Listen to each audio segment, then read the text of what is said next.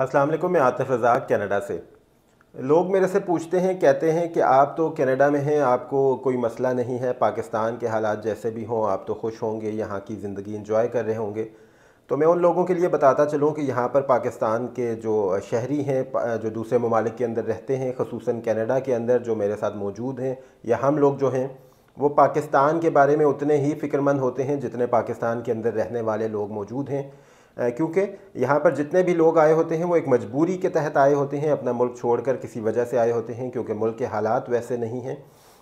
सोचते हैं, उम्मीद करते हैं, रोज़ ये उम्मीद करते हैं कि कब मुल्क के हालात बेहतर होंगे, कब हमारा मुल्क भी तरक्की करेगा, हमारा मुल्क में भी हालात स्टेबल होंगे कानूनी तौर पर हालात बेहतर होंगे मुआशी तौर पर बेहतर होंगे माशरती तौर पर बेहतर होंगे लॉ एंड ऑर्डर की सिचुएशन बेहतर होगी तो हम भी कभी अपने मुल्क जा सकेंगे।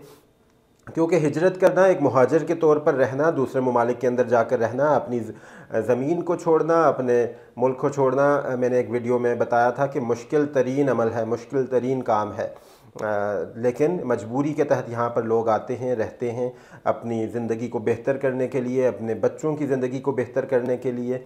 क्योंकि वहाँ पर तो ज़िंदगी का नामो निशान, क्योंकि इस तरह के माशरों में जब आप बैठ कर देखते हैं तो लगता है कि वहाँ पर ज़िंदगी का नामो निशान मौजूद नहीं है, हालात उस तरह के नहीं हैं। उन हालात के अंदर रहकर आपको इतना फ़ील नहीं होगा।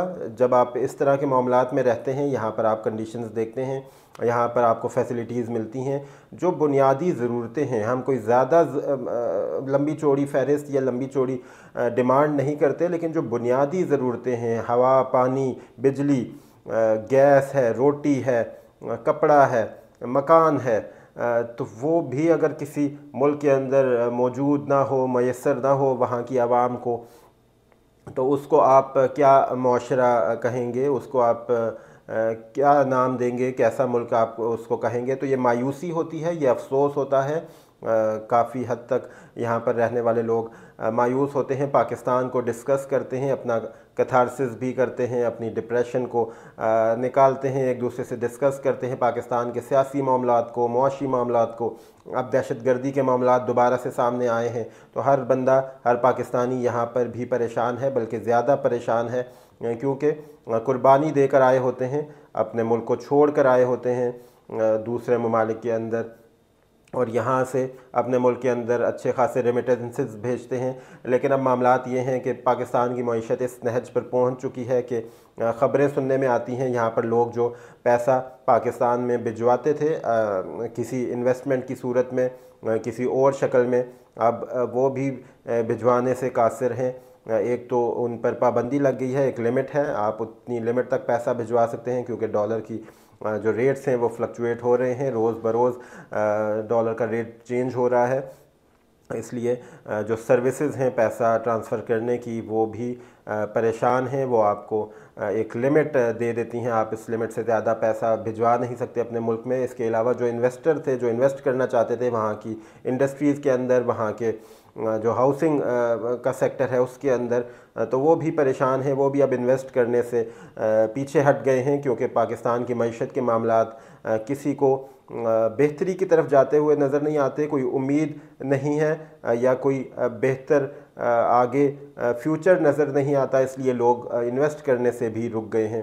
तो ये पाकिस्तान के लिए एक परेशान कन चीज़ है। यहाँ पर बैठ कर इन ममालिक में बैठ कर अगर आप पाकिस्तान के बारे में बात करते हैं, तनकीद करते हैं तो उसका मतलब हरगिज़ ये नहीं कि आप अपने मुल्क को भूल गए हैं, इस तरह के माशरों के अंदर खुश हो गए हैं, क्योंकि लोग मेरे से यही बात करते हैं कि आप तो यहाँ पर सेटल हैं, यहाँ कनाडा के अंदर या दूसरे ममालिक के अंदर। लेकिन हमें भी उतनी ही तकलीफ़ होती है, उतनी ही परेशानी होती है। जैसा कि मैंने बताया कि लोग मजबूरी के तहत यहाँ पर मौजूद हैं। अगर अपने मुल्क में हालात बेहतर हों तो किसी का दिल नहीं चाहेगा अपना मुल्क छोड़ने का, अपने प्यारों को छोड़ने का, अपने इलाकों को छोड़ने का। लेकिन एक मजबूरी होती है, एक आपको मामला का पता है, हालात का पता है। जिसका भी चांस लगेगा, आजकल हर कोई कोशिश में है, हर कोई इस कोशिश के अंदर है कि वो बेहतर चांस लगे और अपने मुल्क को छोड़कर किसी दूसरे मुल्क जाकर सेटल हो जाए। तो ये मामला हैं, ये हमारे हुक्मरानों को सोचना चाहिए, लेकिन कोई उम्मीद नज़र नहीं आती अब तक क्योंकि उनकी प्रायोरिटीज़ जो हैं वो आवाम नहीं है, वो अपनी हुकूमतें बचाना है, अपने मामला को बचाना है, अपने केसेस को क्लियर करवाना है। अभी तक तो मामला ऐसे ही नज़र आते हैं, कोई सीरियस एफ़र्ट नज़र नहीं आती इस मुल्क को आगे ले जाने की। किसी भी तरफ़ से, किसी इदारे की तरफ़ से, किसी सियासतदान की तरफ़ से इवन आवाम की तरफ़ से आप देखते हैं कि आवाम का भी जो है वो रुझान जो है, किस तरफ़ है? अगर कोई इंग्लैंड से या दूसरे ममालिक से तीन या चार महीने गुजार कर वापस आता है अपने मुल्क, एक लीडर बनने के लिए आप उसको वेलकम करते हैं, आप उसको बड़ा लीडर दोबारा से आप बनाते हैं तो इस तरह की आवाम की भी सोच है। आप को भी सोचना चाहिए कि आपका लीडर वो होना चाहिए जो आपके मुल्क के अंदर मौजूद हो, आपके मुल्क का सोचे, आपके जिसका जीना मरना अपने मुल्क के लिए हो।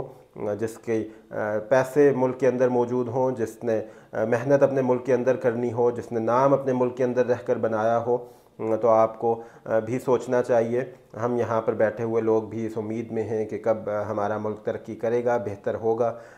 तो हम भी अपने मुल्क वापस जा सकेंगे। हम भी फ़ख्र से बता सकेंगे कि पाकिस्तान भी दुनिया में एक नाम रखता है, एक मुकाम रखता है। इन उम्मीद है, अल्लाह ताला से दुआ भी है, हमारे मुल्क को तरक्की दे, हमारे मुल्क में खुशहाली आए, अमन आए और हमारा मुल्क भी दुनिया के बड़े ममालिक की फ़हरिस्त के अंदर शामिल हो।